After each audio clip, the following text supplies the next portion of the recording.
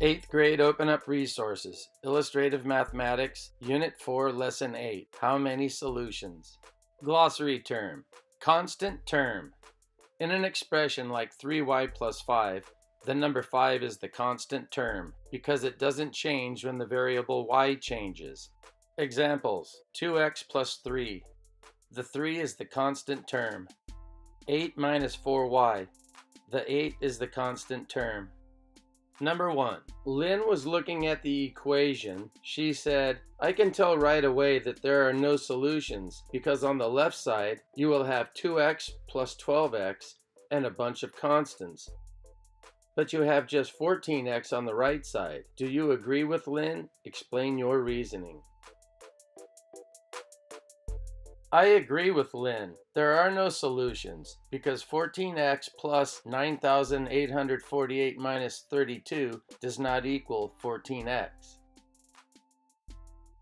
Number 2. Han was looking at the equation. He said, I can tell right away there are no solutions because on the left side you will have 6x plus 10x and a bunch of constants, but you have just 16x on the right side. Do you agree with Han? Explain your reasoning. If you perform all the operations, you'll figure out that Han is incorrect because 16x plus 0 equals 16x, and that's true for all values of x. Han is incorrect. Number 3. Decide whether each equation is true for all, one, or no values of x. A. 6x minus 4 equals negative 4 plus 6x. Since 6x minus 4 is the same as negative 4 plus 6x, this equation is true for all values of x. B. 4x minus 6 equals 4x plus 3. Since 4x minus 6 is never equal to 4x plus 3, this is true for no values of x. C. Negative 2x plus 4 equals negative 3x plus 4.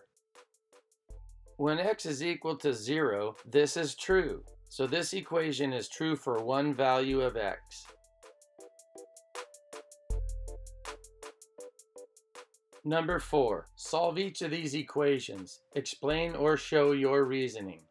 3 times x is 3x, and 3 times negative 5 is negative 15. Bring down the equal sign and the 6 on the right-hand side.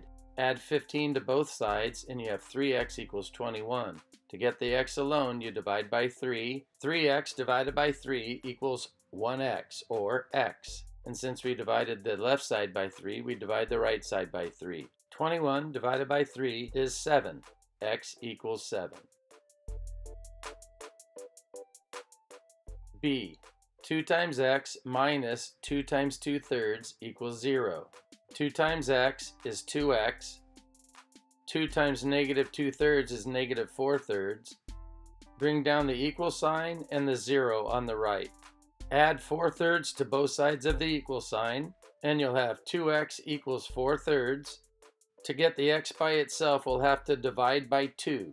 2x divided by 2 equals 1x, or x. Since we divided the left side by 2, we have to divide the right side by 2. And 4 thirds divided by 2 equals 4 sixths, which is equivalent to 2 thirds. x equals 2 thirds.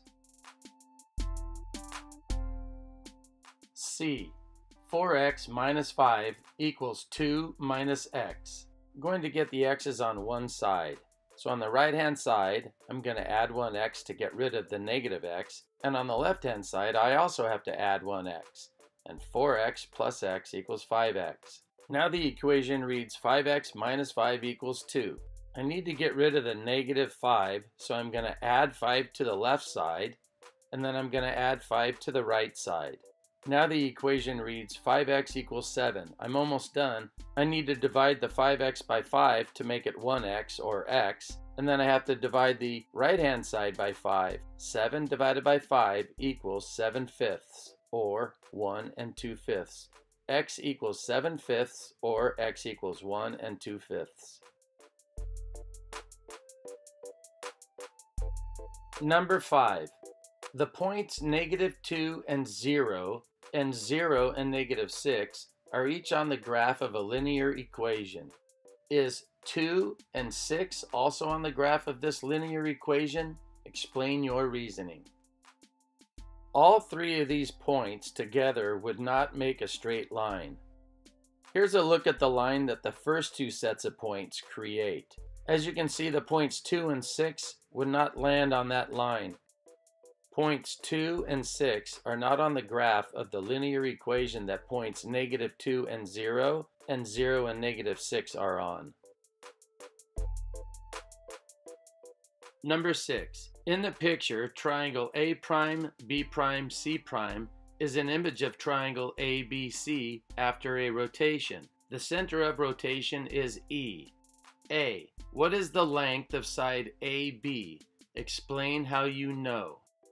The length of side AB is the same as the length of side A prime B prime, and since A prime B prime's length is 9, or 9 units, then the length for side AB will also be 9 units. B. What is the measure of angle D prime? Explain how you know. Well, since the angle for D prime will be the same as the angle for D, and the angle for D is 45 degrees, the angle for D prime will also be 45 degrees.